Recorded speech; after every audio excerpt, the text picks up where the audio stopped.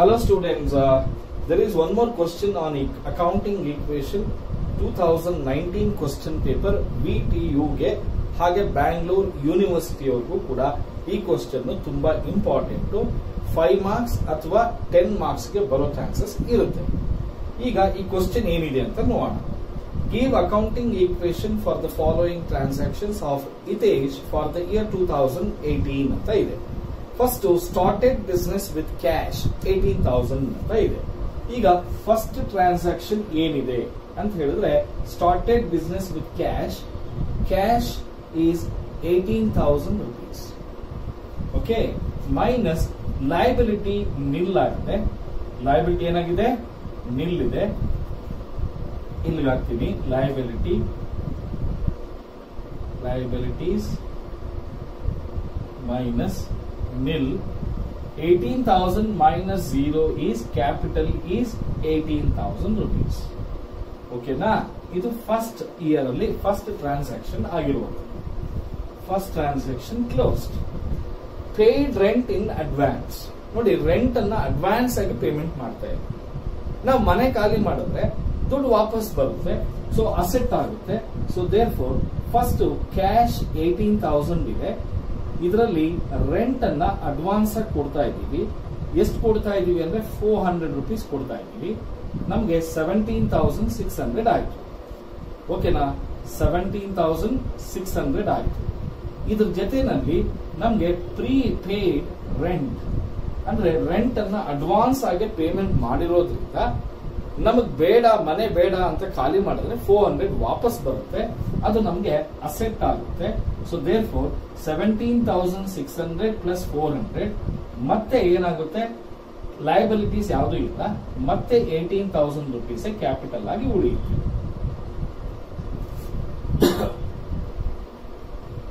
ಮೂರನೇ transaction purchase goods for cash five thousand and on credit two thousand ನೋಡಿ ಗೂಡ್ಸ್ನ purchase ಮಾಡಿದ್ದೀವಿ.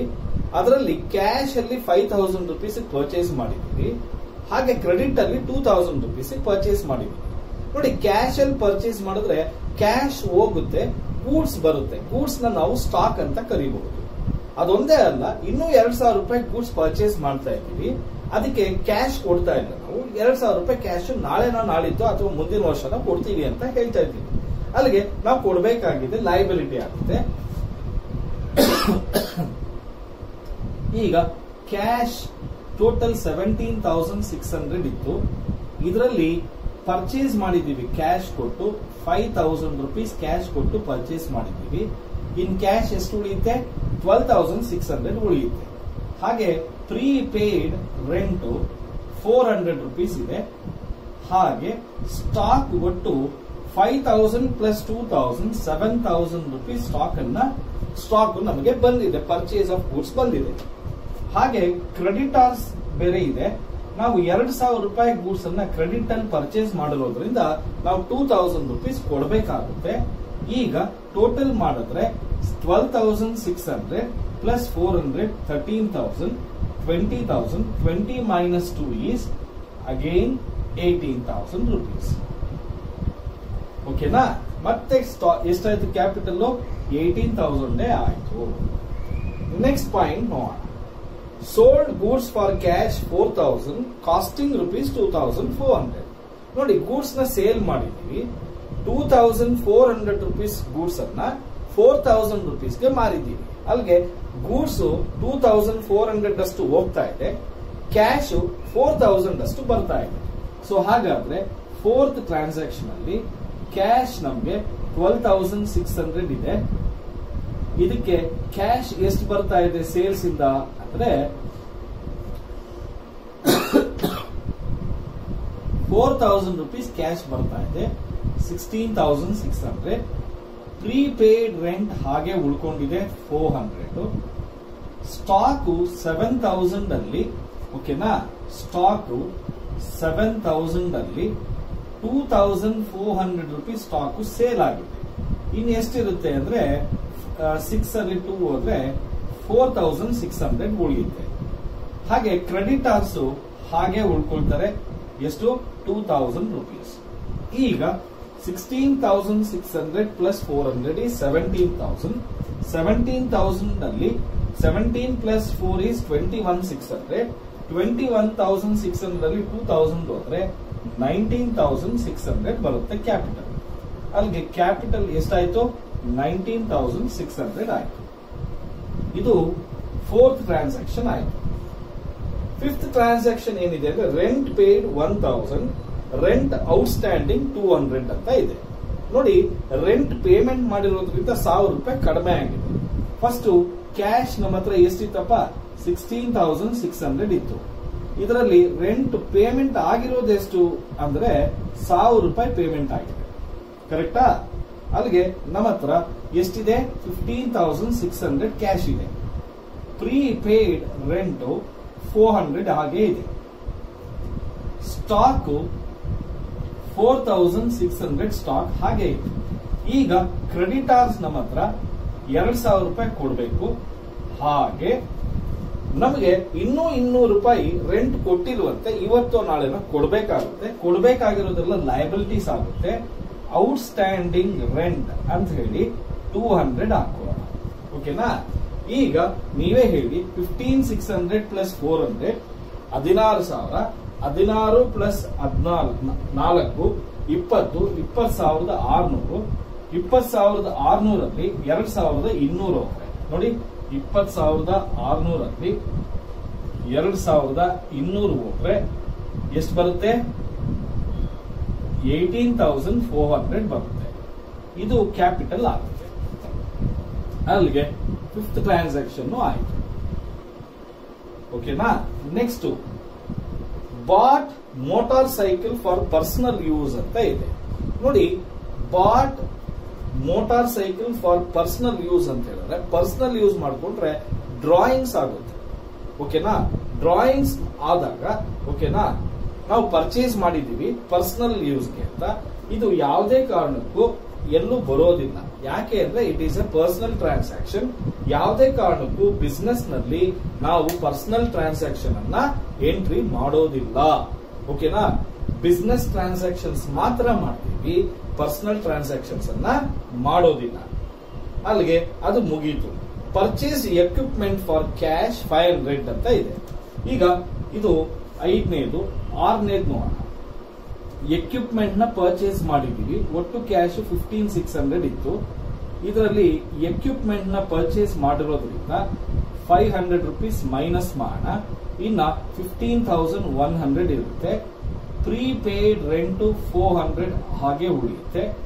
Stock four thousand six hundred ಕೂಡ ಹಾಗೆ ಉಳಿಯುತ್ತೆ.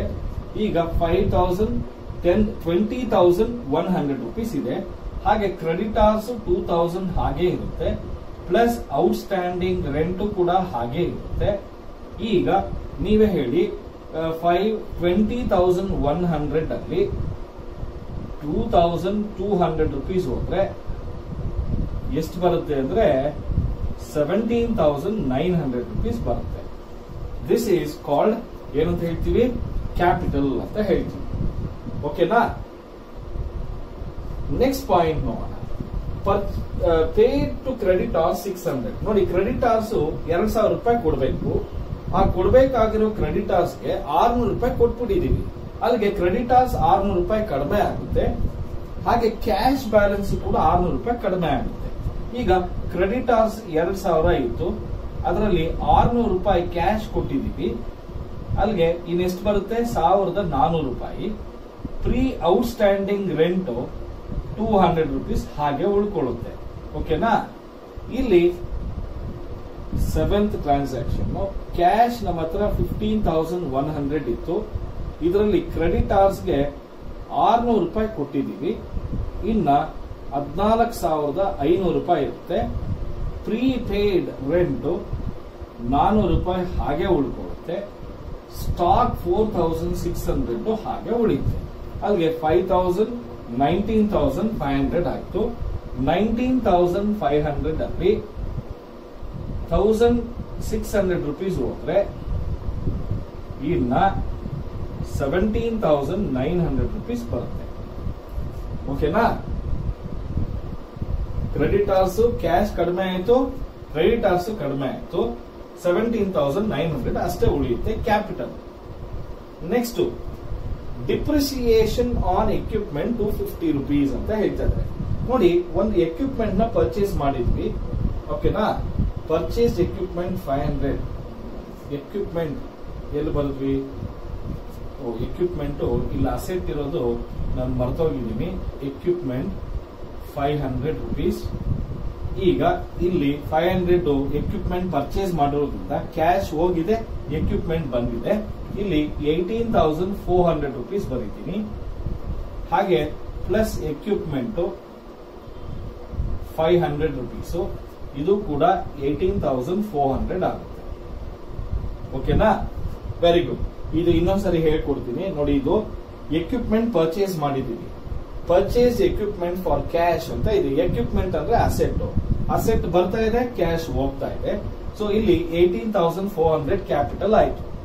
ಹಾಗೆ ನೆಕ್ಸ್ಟ್ ಜರ್ನಲ್ ಎಂಟ್ರಿನಲ್ಲಿ ಆರ್ನೂರು ರೂಪಾಯಿ ಕ್ರೆಡಿಟಾರ್ಸ್ ಕೊಟ್ಟಿದ್ದೀವಿ ಕ್ರೆಡಿಟಾರ್ಸ್ ಆರ್ನೂರು ರೂಪಾಯಿ ಕಡಿಮೆ ಆಗುತ್ತೆ. ಕ್ಯಾಶ್ ಕೂಡ ಆರ್ನೂರು ರೂಪಾಯಿ ಕಡಿಮೆ ಆಗುತ್ತೆ.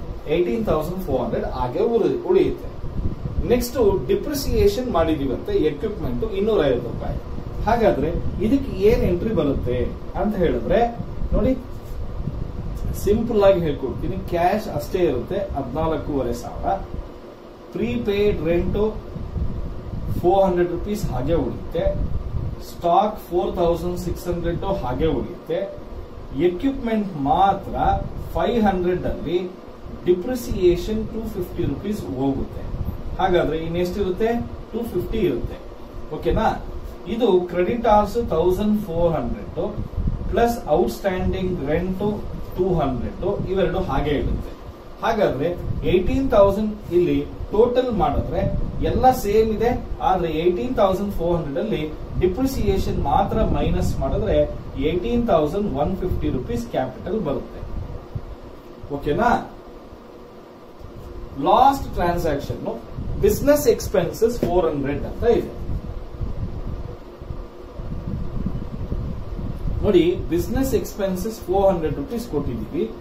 Fourteen thousand five hundred rupees total cash ಇದೆ. ಇದರಲ್ಲಿ ಎಕ್ಸ್ಪೆನ್ಸಸ್ಗೆ ಅಂತ ಫೋರ್ ಹಂಡ್ರೆಡ್ ರುಪೀಸ್ ಖರ್ಚು ಮಾಡ್ಕೊಂಡಿದ್ದೀವಿ. ಅಲ್ಲಿಗೆ fourteen thousand one hundred cash ಇರುತ್ತೆ. ಪ್ರೀಪೇಯ್ಡ್ ರೆಂಟು ಫೋರ್ ಹಂಡ್ರೆಡ್ ಹಾಗೆ ಉಳ್ಕೊಡುತ್ತೆ stock four thousand six hundred ಹಾಗೆ ಉಳಿಯುತ್ತೆ. ಎಕ್ವಿಪ್ಮೆಂಟು ಟೂ ಫಿಫ್ಟಿ ರುಪೀಸ್ ಹಾಗೆ ಉಳ್ಕೊಳುತ್ತೆ creditors thousand four hundred outstanding rent two hundred ಹಾಗೆ ಉಳಿಯುತ್ತೆ. ಈಗ ಟೋಟಲ್ ಕ್ಯಾಪಿಟಲ್ ಎಷ್ಟು ಬರುತ್ತೆ? ನೋಡೋಣ. ಇದು ಎಷ್ಟು ಬರುತ್ತೆ ಅಂದ್ರೆ ಫೈವ್ ಓಕೆನಾ two eight twelve thirteen one carries two six ten twenty twenty thousand three ಫಿಫ್ಟಿನಲ್ಲಿ one thousand six hundred ಹೋದ್ರೆ ಇನ್ನೆಷ್ಟು ಬರುತ್ತೆ ಅಂತ ಹೇಳಿದ್ರೆ seven eighteen thousand seven fifty rupees ಬರುತ್ತೆ.